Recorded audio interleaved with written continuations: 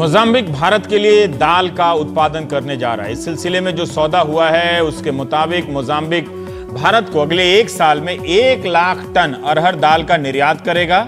यह निर्यात हर साल पच्चीस हज़ार टन बढ़ता जाएगा और 20-21 साल 2020-21 तक दो लाख टन हो जाएगा। लेकिन अभी का क्या होगा?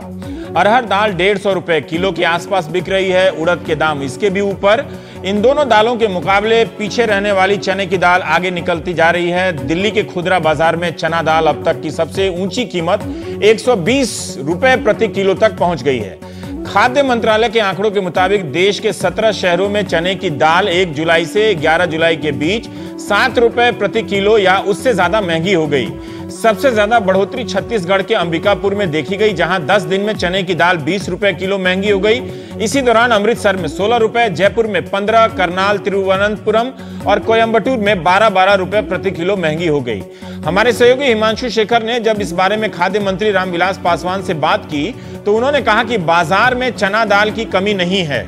ये समस्या जमाखोरी और बाज़ार में जानबूझकर कमी का माहौल फैलाने की वजह से पैदा हुई है। अब अगर दाल है तो फिर दाम क्यों नहीं? तो इसे सरकार को अगर पता है कि जमाखोरी कारण है तो सरकार या सरकारें कोई ठोस कार्रवाई क्यों नहीं कर रही हैं? ये मामला इसलिए भी गंभीर है क्योंकि देश में दाल का उत्पादन ज़रूरत से काफ़ी कम है। पिछले एक साल में देश में 170 लाख टन दाल का उत्पादन हुआ, जबकि मांग 246 लाख टन की है।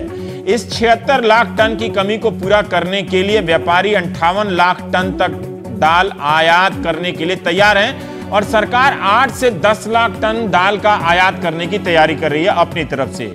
इसके बावजूद करीब 8 लाख टन दाल की ज़रूरत बनी रहेगी। हमारे साथ देवेंद्र शर्मा हैं। आज आपका लेख पढ़ा कि आप काफ़ी नाराज़ लग रहे थे इस फैसले से कि हिंदुस्तान के बाहर दाल की खेती का करार क्यों हो रहा है? हिंदुस्तान में क्यों नहीं हो रहा है? हिंदुस्तान की अपनी परिस्थितियाँ रही होंगी सरकार की। अब आप ही बताएँ कि इस बिंदु पे, इस फैसले पे देवेंद्र शर्मा को गुस्सा क्यों आता है? देखिए, कुछ साल पहले रवीश जी, आपको शायद याद होगी ये खबर, मैं एक 1990 के दशक की बात कर रहा हूँ, कि हॉलैंड से भारत गोबर आयात करने जा रहा था। और ये जब मैंने खबर, ये मैंने ब्रेक की तो उसके बाद काफ़ी बवाल मचा देश में। लेकिन एक कार्टून मैं आपसे शेयर करना चाहता हूँ। उस कार्टून में था कि दो गाय खड़ी हैं और एक गाय दूसरी गाय से बोलती है कि मेरे गोबर में क्या प्रॉब्लम है कि हॉलैंड से गोबर मंगाया जा रहा है? मुझे लगता है इस बात में सारा मैसेज है। कि हमारे देश के किसानों में क्या प्रॉब्लम है कि आप मोजाम्बी के किसान, फिर आप टंजानिया कीनिया, इन सब देशों को देख रहे हैं कि वो आगे से हमारे जो देश की दाल की ज़रूरत है, वो पूरी करे। क्यों नहीं वही काम हमारे देश के किसान कर पाते हैं? ये काम हम डाइवर्ट क्यों कर रहे हैं इस तरफ़ अटेंशन को कि आप अभी पहले हमने खाद्यान्न तेल में किया, अब हम दालों में करने जा रहे हैं। आने वाले दिनों में आप देखेंगे कि दूध उत्पादन पे जा रहे हैं, सब्जियों पे जा रहे हैं। ये जो हमारी आत्मनिर्भरता जो हमने बहुत मुश्किल से अचीव की थी इस देश में वो हम क्यों डिसमेंटल करना चाहते हैं? इस सवाल पे मैंने ये लेख लिखा है और मेरा एक मानना है कि जिस देश में 60 करोड़ किसान हो उस देश में बाहर देखने की ज़रूरत नहीं है। हमें अंदर देखने की ज़रूरत है कि हम उन किसानों को कैसे अपने एक तरह सशक्त बनाए कि वो खेती कर सकें। अब देखिए दो तीन बातें। आपने कहा कि मोजाम्बिक के किसानों को हम टेक्नोलॉजी देंगे वो तो आपने यहाँ भी देते हैं किसानों को। आपने कहा कि जो आप पैदा करेंगे मोजाम्बिक के किसानों से कहा मिनिमम सपोर्ट प्राइस से हम कम नहीं देंगे आपको दाम, और जो पैदा करेंगे वो हम गारंटी करते हैं कि हम खरीदेंगे। पंजाब में, हरियाणा में, मध्य प्रदेश में, देश में जहाँ जहाँ दालें होती हैं, अगर हमने यही उनको जो कंडीशन है उनको ऑफ़र की होती किसानों को तो हमारे देश के किसान इतनी दाल पैदा कर सकते हैं कि सारी दुनिया की रिक्वायरमेंट हम पूरा कर सकते हैं। क्योंकि हमने आज तक सब कुछ करने के बावजूद आज तक गारंटी नहीं किया।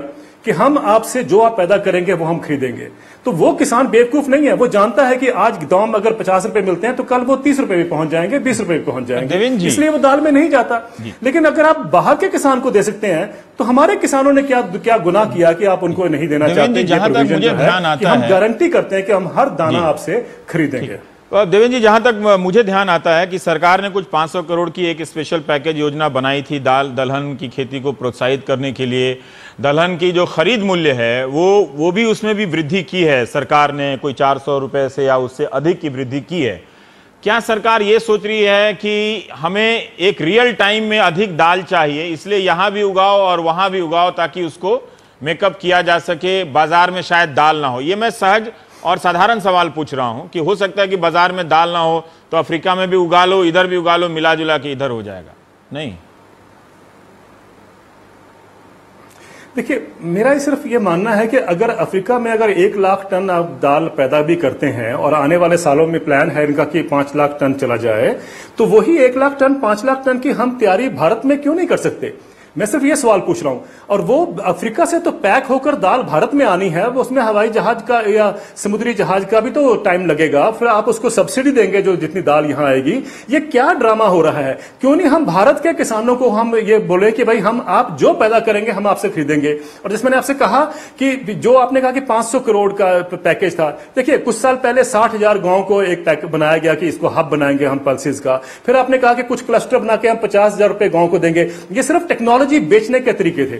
जो ज़रूरत थी इतने सालों से वो ये थी कि हम ड्यूटी जो zero duty zero percent duty है हमारी इंपोर्ट ड्यूटी उसको हम पचास परसेंट पे कर दें और हम भारत के किसानों को ये कह दें कि जो आप पैदा करेंगे हम खरीदेंगे। मैं आपको दावे से कह सकता हूँ रवीश जी कि आपको एक साल का इंतज़ार नहीं करना पड़ेगा। अगले मौसम में ही किसान आपको पैदा करके दिखा देंगे। लेकिन आप करना नहीं चाहते क्योंकि एक इंपोर्ट लॉबी इतनी हावी है इस देश में कि वो चाहती है कि उसको फ़ायदा हो एक्सपोर्ट देवेंद्र जी मेरा हमारे देश में आपके साथ मुझे नहीं लगता क्यों हम किसानों को भूल चुके हैं कि हमारे देश में किसान भी रहते हैं। मैं अक्सर मैं आप जब भी आप ये बात कहते हैं तो मैं आपके साथ इस सवाल पे पहुँच जाता हूँ कि अगर इंपोर्ट लॉबी मज़बूत है तो किसानों के पास भी राजनीतिक ताकत है। जब मैं गाँव में घूमता हूँ तो तमाम सांप्रदायिक मसलों पे तो उनकी काफ़ी जानकारी है काफ़ी भड़के रहते हैं आजकल। वो लोग भी, और गाँव में भी देख लीजिए इस तरह की हिंसा की किस तरह से चीज़ें बढ़ रही हैं। और वो अपने नेताओं से बहुत नज़दीक रहते हैं। नेता भी उनके बहुत नज़दीक रहते हैं। अगर गाँव में सांसदों का दौरा देखें, विधायकों का, फिर वो इम्पोर्ट लॉबी से हावी, खुद को हावी क्यों नहीं कर पाते हैं? आखिर किसान कहाँ है? अगर उसको सब मालूम है तो ये बात क्यों नहीं मालूम है कि वो अपने दाल की संभावना को लेकर सरकार से, विधायक से, सांसद से बात कर सके?